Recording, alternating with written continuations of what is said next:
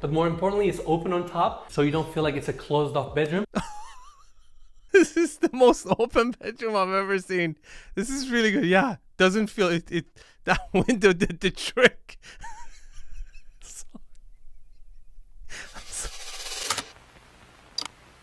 I'm the how to buy a mansion guy. I buy mansions for my clients, I critique mansions, I consult on mansion design, link is in the description. Let's critique and review this mansion tour video so you get good at spotting the flaws so you won't overpay for properties. My name is Arvin Haddad, let's go. What's up everybody, it's Enes here and welcome to another episode. This week we're in Aix-en-Provence here in south of France and about to tour this stunning contemporary estate. This home has seven bedrooms. Seven bedrooms. That's important. We're going to come back to it. But I'm going to ask you a question. What do you think was the inspiration behind this design? Think about it. I sometimes pause the video, and ask you guys questions so you guys will get better at this. I'm going to tell you guys later in the video, okay? Eight bathrooms, 500 square meters of interior space built on a 6,725 square meter lot. And this property is currently on the market for 8.9 million euros. Let's begin our tour.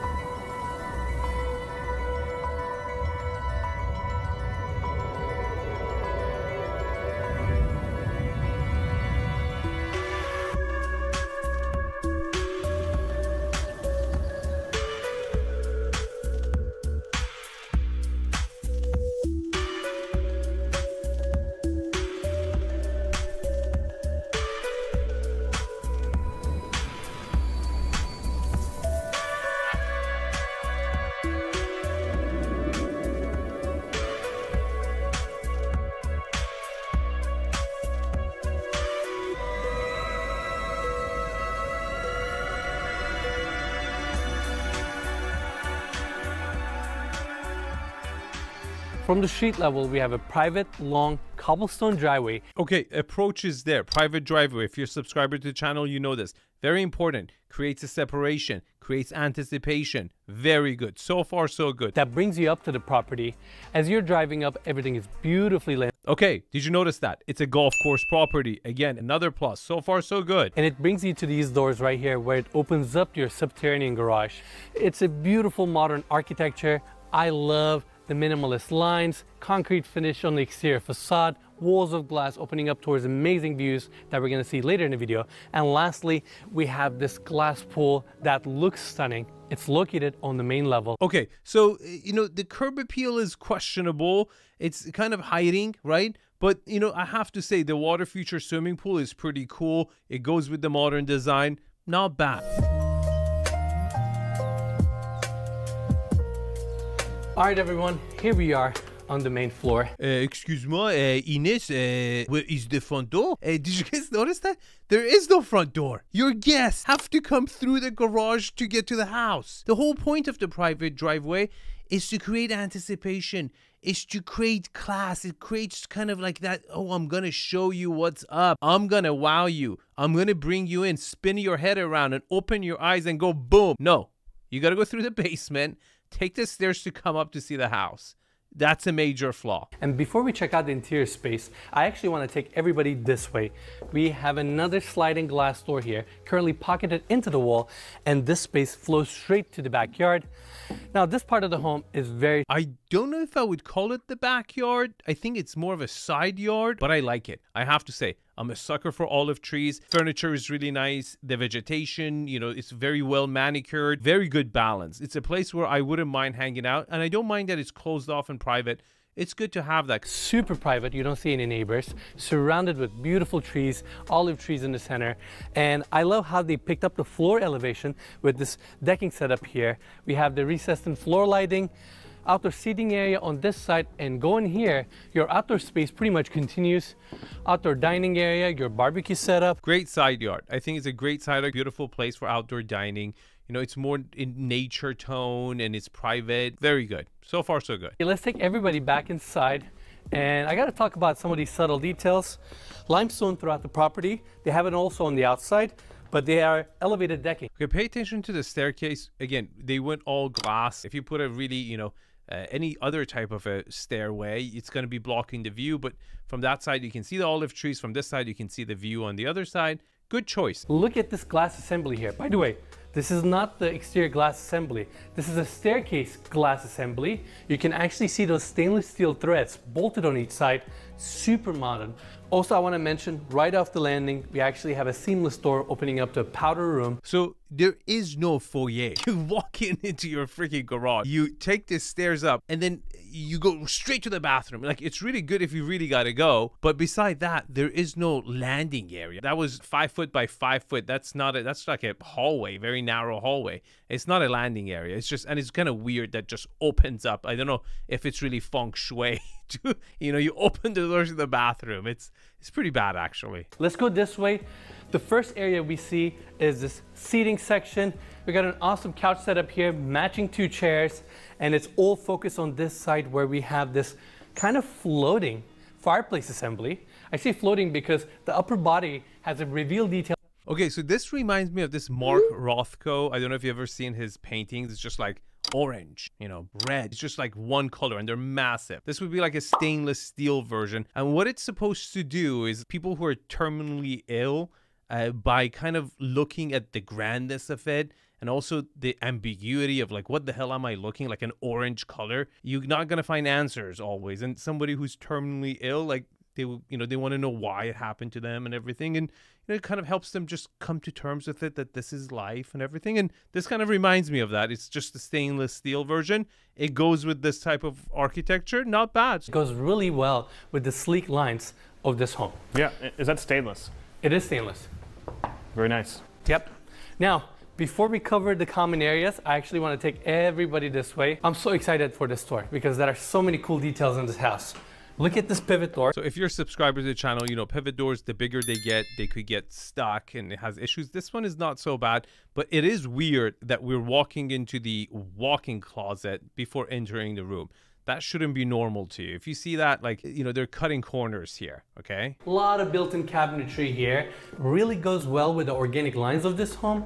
And following this hallway, it takes us to the first bedroom on this level. We have the king-size bed set up here, built out of the same wood paneling that we're gonna see throughout. And the first detail I wanna talk about is this. This massive picture window looking to a A wall! Massive picture window looking to a wall. You know the whole Mark Rothko example I gave you? It took it to another level. It's like, you know what? There is no mean. There's no ambiguity. Life is meaningless. Just break the glass and jump down. What is this? Why did you make such a big picture window to look at a wall? Really? Okay, you know, there's a golf course right there. There's all, you know, olive trees right around the corner. Nope. Not allowed. No, no, uh, impossible. No, uh, you're not okay. Uh, don't look. No, okay. We're gonna look at the wall for now. courtyard on the lower level, but more importantly, it's open on top. It allows ton of natural light to come into this bedroom, so you don't feel like it's a closed off bedroom.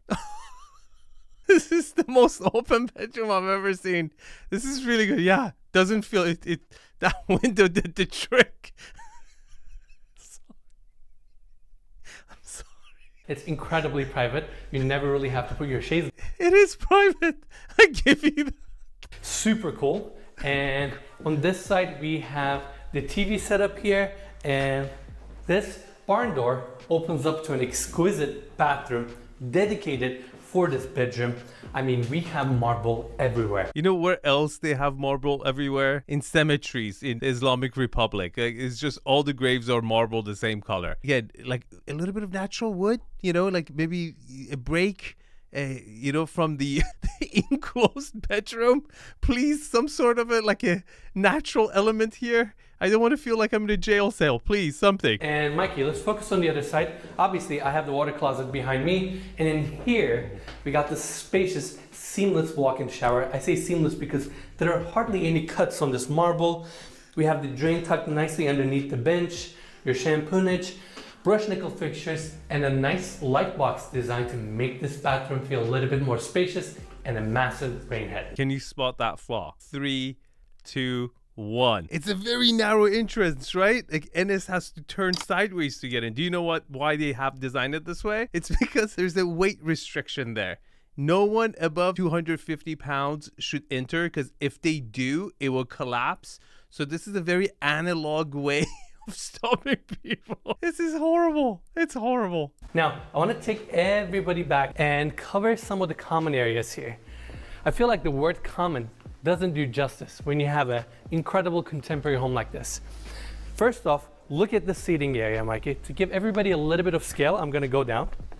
You have a sunken, built-in seating area. This reminds me of Mondrian Hotel, like Sky Bar in LA, and they built that like 20 years ago. Uh, it's pretty bad. And to make it even better, we have automatic sliding glass doors throughout this entire wing that fully pockets into the walls and opens up this space to the outdoors. And as if that wasn't enough, they also have the backyard or the patio spaces on the same level, so you get that seamless transition. And I gotta talk about this detail here. So we, they got this square wood frame here. I say wood because it's clad with wood. You have an additional seating area here, massive TV, and right in the center, we have this massive island. Now, you may be wondering, Enes, uh, it's not so big, huh? It's uh, medium size. and right behind me, we have another pocketing sliding glass door, seamlessly opening up to this outdoor space. I love this tall wall here, which gives a lot of privacy to this room, but yet, when you're cooking here or hanging out, you can easily open these doors like we did right now. Just let ton of natural light and fresh air come to the space. You have an outdoor kind of seating area here. This is great. I guess this this would probably be set up maybe as like a dining area. Bingo. Bingo!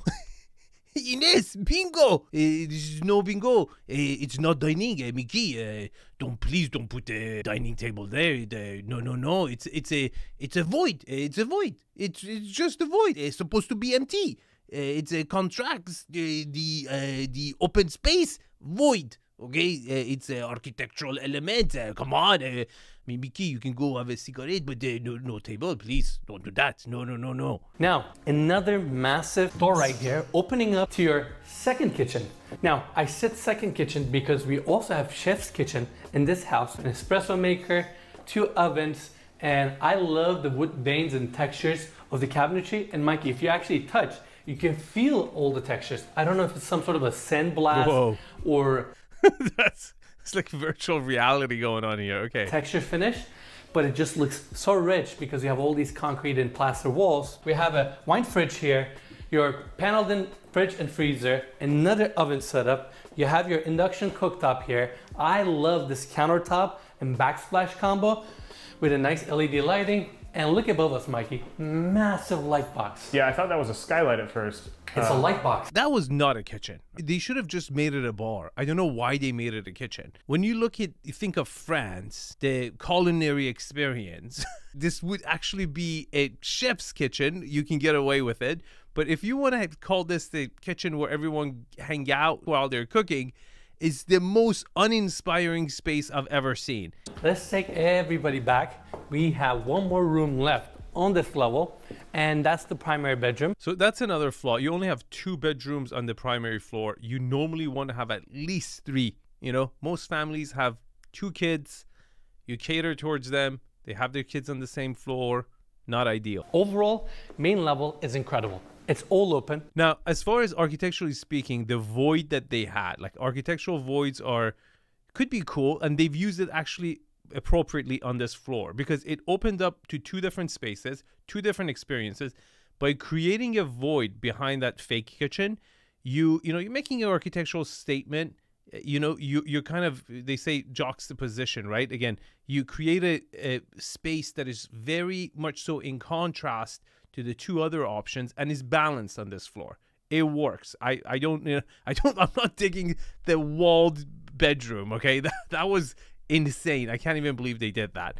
But over here in this living space, it's cool. It's like where you should be making a statement like that, and architecturally it does look cool. Incredible indoor outdoor flow. And right here, this seamless door opens up to your primary bedroom hallway. Mikey, let's check out the closet space here. Look how everything is nicely paneled in, right? You got that seamless look. Everything is closing in on you. I mean, this is a very small primary walk-in closet if you want to call it a walk-in closet it's very narrow i don't think you can have two doors open simultaneously at the same time and stand there right you don't have the space. You kind of have to go open one side and then close it, then turn around and open the other side. Not good at all. And going this way, we have marble on the floors, marble on the walls, and it actually takes us to your primary bathroom. Wait a minute. You have to go through walk-in closet, then the bathroom, and then you get to the bedroom. I've seen like going through one, but I haven't seen like you should like throw Skittles behind you so you can find your way back. What are you doing? This is horrible. This bathroom might be one of my favorite bathrooms we've ever toured on this channel. And you're gonna see why. I'm gonna start here. That marble pretty much seamlessly come to this side where we have the open walk-in shower, brush nickel finishes, shampoo niche, massive rain head above. And if you want that real indoor-outdoor experience, well, you have these sliding glass doors pocketing into the walls, opening up to a little open courtyard area. I gotta step down here. When someone executes an incredible detail like this one, I have to acknowledge it. First off, I believe this is a tub filler. This is a sunken built-in tub that was poured into the fountain. This is not a tub. This is a coffin. The only person who can fit in this is like uh, Napoleon himself. Is like really small. Like you can't even bathe. Like you first have to go sideways. You bathe this first half of your body, and then you switch side, turn the to the wall, and then bathe the other half. This is horrible. What what are you doing? It's horrible. You have your brush nickel finishes, and in case you're wondering how do you fill it up, this is a uh, drain where you can just push the button and clog it. Fill it up when you want to drain it. There you go. I'm gonna I'm gonna get on your nerves eventually saying this, but like we got to turn that thing on No. if we can. No. It looks seamless, Mikey. We have to leave it the way it is. Seamless. This is crazy. We have a double vanity setup here. Actually, double vanity because it has two openings fabricated out of the same beautiful marble, one big sink with a hidden drain, wall fixtures, knobs, and even the outlets are nicely recessed into the marble, including this massive mirror. I'm not gonna go to this side. We have another opening here, sliding glass door. This is where you have your water closet or your toilet setup. Mikey's going in there to give you guys the best angle possible, but sitting down here and using this water closet or toilet setup, it's an experience. Now we have another door here opening up to a primary bedroom suite. Now, although this home has really open and big rooms, primary suite is actually relatively cozy and kind of good size. Good size. It's half the size of the bathroom. This is the smallest primary I've ever seen. And thank you for giving us a window. I really, really, I'm so grateful. You just went above and beyond. Now I understand what a window really means. You know, you have to take it away from me for me to realize and appreciate what a window could be. we have a sliding glass door here. But instead of pocketing into a wall, it actually goes down to a lower level. So I hope you guys have the footage of that where you can see the glass door rolling. Can you imagine waiting for that? This is like 10x speed, okay? You press it, it goes really, really slowly. Automatic shades, another detail I want to mention. And we're going to see these details throughout the property. Mikey, this door right here, it's a safety lock. So let's say something happens and uh, burglars are trying to get into the property, push up a button, we actually have a lot of steel doors locking up the entire house. We have more in the garage and other parts of the home. I'm gonna try to show them as much as possible, but this is one of the assemblies right there. So we've seen guillotine doors. One of our favorite properties, uh, Hollywood Hills. Hollywood. Hills. Yeah, this is that's another video. If you haven't seen that video, I also critique it. It's it's a nightmare. And they're seamless and it opens up your primary bedroom straight to the outdoors. Now, I have to put my glasses on because it's super bright outside. This patio gets Okay, I like the swimming pool. Probably my favorite feature of the house eh, is the swimming pool. I love the fact that they put the steps on the side. You can actually do laps on this pool. I think it's a good contrast. I think they've done a good job. I would say the swimming pool and the side yard are my favorite parts of the house, which are not inside the house, they're outside the house. Uh, but yeah, uh, well executed over here. It's all clad with this tile design and on the front and on the side it has a Okay, can you guys guess the inspiration behind this design? If you guessed bunker, I think you're close, but I personally think the design is inspired by the military pillboxes. They kind of look like a bunker, but they have a little opening where you put the rifle out. And you know, the architect is like probably went to Normandy and you know saw the Nazi uh, pillbox is and got inspired. Talking about a contemporary design, I don't know, it doesn't get much more modern than this. This is amazing. And one more time, look at your peaceful views. So quiet up here. It's so green. This is amazing. And that wraps our tour for the main level. Now let's take the stairs and check out the lower level.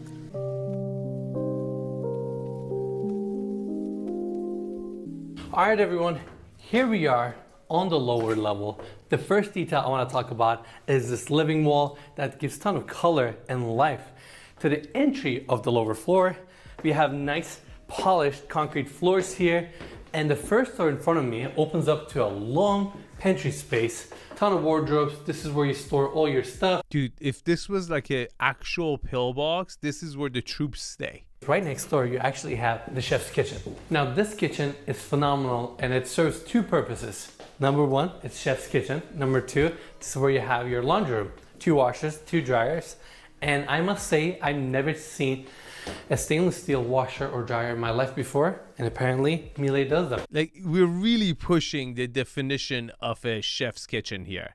I would say this is like the maid's kitchen, not a chef's kitchen. If the chef also has to do the laundry, they're not going to be really happy about that. All right, we have this hallway here, but first, why don't we open up this massive pivot door and check out the garage?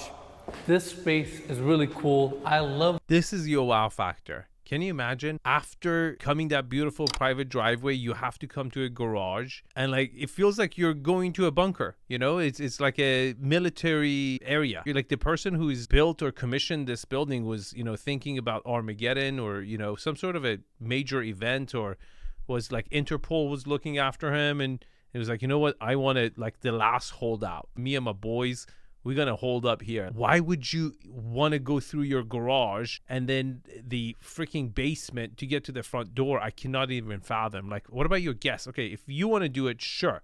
But you need to have a separate interest for your guests. It's ridiculous not to have that. Continuing our tour, on our left-hand side, we have a couple storage areas. Right here, I mentioned it on the main floor, we have another set of those panic doors that seals off the garage. And in fact, Mikey, if you go back here, look at that massive uh, black panel there. That's actually a sliding door that seals off this section, fully securing the house. That's why we have Okay, either this guy who commissioned this property was super, super scared of, you know, golfers and golf balls, or some people were looking for him. Some people were just like really looking for him because this is not normal. Like in south of France, are you kidding? Like who's coming after you, bro? Now, Mikey, let's step inside, continue our tour. We have this hallway right next to the staircase. Another door opens up, and we have a pocket door here that goes straight into another bedroom. This room can either serve as a bedroom, but in this case, they have a desk set up here, treadmill. But what's so cool about this room is the fact that it opens up this courtyard on the lower level, and that's how they allow natural light to come in from the roof all the way to the lower level of this home. And that's the bedroom we just saw a minute ago, right? Yes. Yeah. Another bedroom. I, can you even call this a bedroom? So that's basically two bedrooms so far that don't have any windows really. I mean, they have an opening. It's a light well. It's not a window. Now, you may think this is a long hallway where we have a ton of built-in closets. That's what I thought too. Then I opened up this door and it turns out it's the sleekest water closet. I mean, we have marble everywhere. This might be the coolest small built-in marble sink I've ever seen in my life. You know, seamlessly blends in. Okay, if you're a subscriber to the channel, you know this. This hallway is super narrow. I like the fact that they're given it utility, but again, for ultra luxury property to like if you gotta have a hallway, you should try to avoid it as much as you can. And if you've seen my favorite home, like you can see how much they've tried to avoid having hallways and wasted space. But if you gotta have it, you got to have at least so two people can walk shoulder to shoulder comfortably through the space. Adults, you know, this is just too narrow, way too narrow. It's not luxury. We of course have the recessed floor lights here and going through this opening, we have another bedroom here. Now this is not your everyday bedroom because we have eight built-in bunk bed setup here. This is where your troopers will, you know, uh, sleep. Like, the golfers are coming, uh, change the shift. The shift is changing. Can you imagine?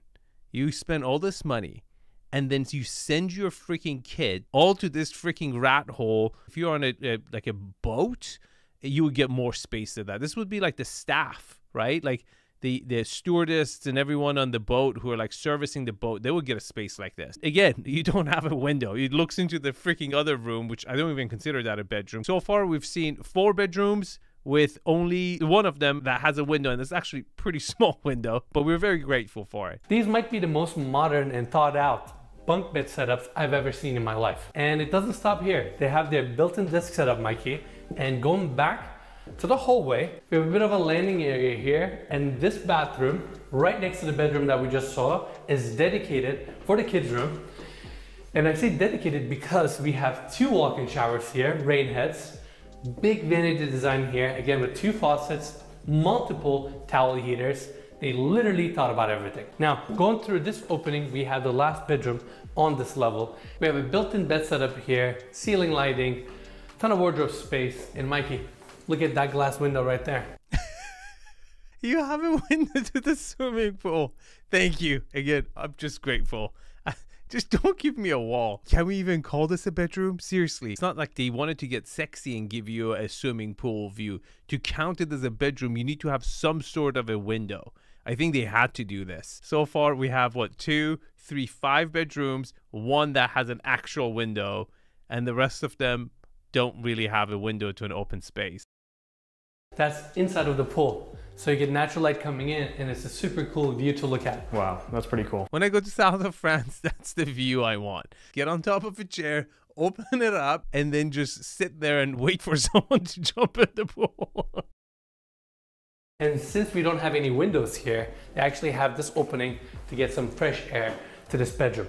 Now, I want to take everybody to this side. We have a marble vanity design here, and of course, behind that, walk-in shower, towel heater, and water closet. Great bedroom. And that's pretty much it. Fantastic bedroom. Very good bedroom right there. Now let's go back to the staircase and check out the second floor.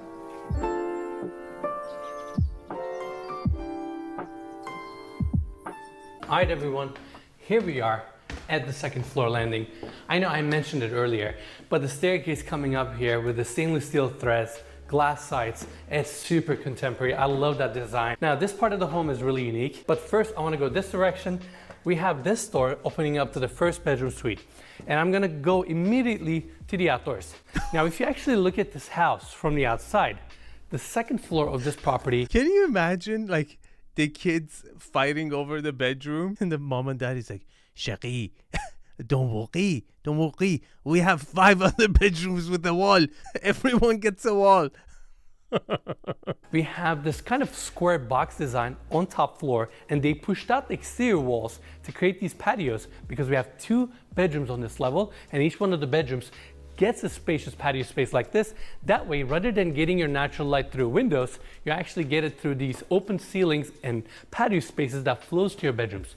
Super, super cool. Super cool. You know, you could just keep it open and look at the beautiful golf course, the olive trees, south of France. but no, no, no, no, no. Golf balls, uh, danger. Very, very danger. No golf balls.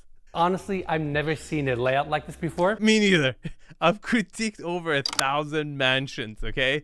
And I can tell you, I've never seen anything like this either. Floating deck design, so we have the drains underneath. You kind of have this built-in seating section here, and right above us, I have these contemporary awning designs. Sliding glass doors on each side. You have your walk-in closet here, nicely paneled in, and flowing this way, you have the bedroom setup, king-size bed, same built-in design that we've been seeing throughout. You have your TV here and the whole bedroom and patio space is totally private. He's really going on the privacy thing. Who goes to south of France to get a very private? You're going there to socialize. You're going to south of France to have a good time. Going through this opening, we have the walk-in shower. I have to step inside. I love the minimalist and clean lines of this home. Rain head above, brush nickel finishes, seamless floors, vanity setup, and the water closet here. Again, fabricated out of the same marble, and the outdoor space continues.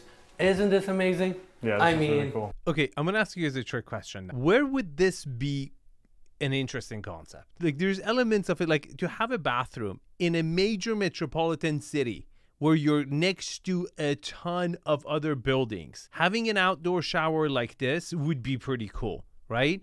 Because you still get like outdoorsy space just through the top because you obviously don't want your neighbors and you're very close in the city, like I think Paris, right? Everyone could see you. Something like this in city would make sense. You know, to having it like a, you know, I'll say like an iconic property. I talk about it in one of my videos. Check it out. But it's about making it, you know, advancement in architectural design, but also you need to be in the right setting. So the right design in the right setting. It, this design is in a in one of the most beautiful places in the world. Everyone loves France. Want to go have some wine, but you're not allowed to watch anything. you look at the wall. You know, it's like, uh, why would you want to make something like this on a golf course? I ah. Take You have pick. two showers, one indoor, one outdoor. You have your bench, brushed nickel finishes, all open on top. This is phenomenal. Yeah, I'm so is- impressed. Yeah, this is really cool. Let's go back to the second floor landing now and check out the bedroom on the other side. Pretty much the same layout. You get an awesome, spacious patio space, limestone floors, and Mikey, we gotta talk. This is just funny. This is it's just funny. Like this would be a you know very high end political white collar jail cell to me. It's very private. They can go out, but uh, it's also luxury. This this would be it. You know, and, and you don't allow them to look at the golf course because that's their punishment. Remember the fireplace that we saw on the main level? Yeah. This might be the sleekest flue system I've ever seen in my life. Even this looks architectural. Yeah, and I guess that's is that stainless as well. They It is carried stainless. out that stainless from there all the way up. Yeah, I'm sure it's insulated. It's like this. That's just the flaw. Like you know, nobody. They should have thought this out. Like you know, when they put a fireplace there, this was an afterthought. Architect is like, is it okay to have a you know chimney up? He's like, yeah, we make it look nice. You know, it's uh, it, sh- this shouldn't even be there. Looks great. Very cool. Very Like, cool, right? I feel like we don't see homes this modern in LA. This is like true, mo- like minimalist modern. Okay, so do you agree? Do you think it's a minimalist architectural style? I guess you could define it as a minimalist. I would personally call it pillbox revival, right?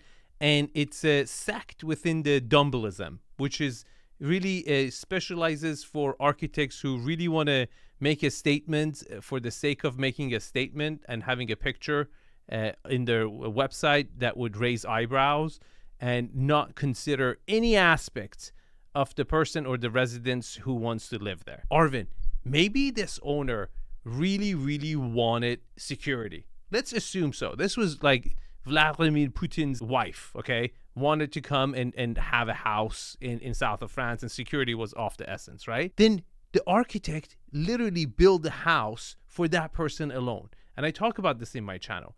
The houses we build, if you decide to build a house for yourself, okay, you're not going to take it to your grave with you, okay? It's for everyone.